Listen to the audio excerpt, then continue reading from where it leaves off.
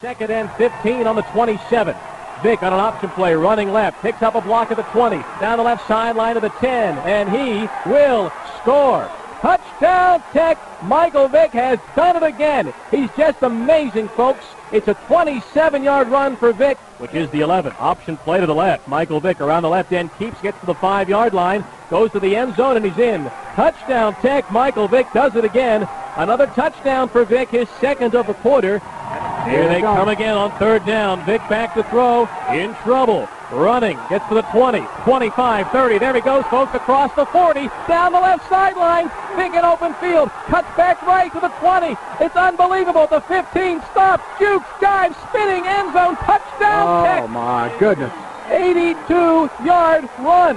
He gets pelted from the BC students up there. They're throwing everything at him. There is a flag on the play.